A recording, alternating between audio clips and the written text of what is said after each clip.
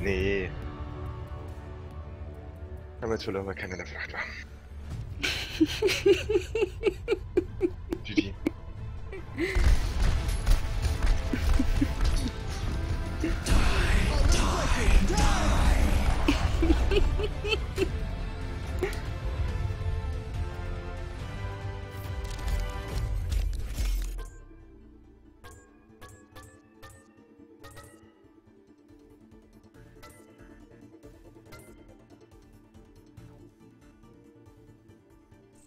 Wenn wir dich nicht hätten, ne?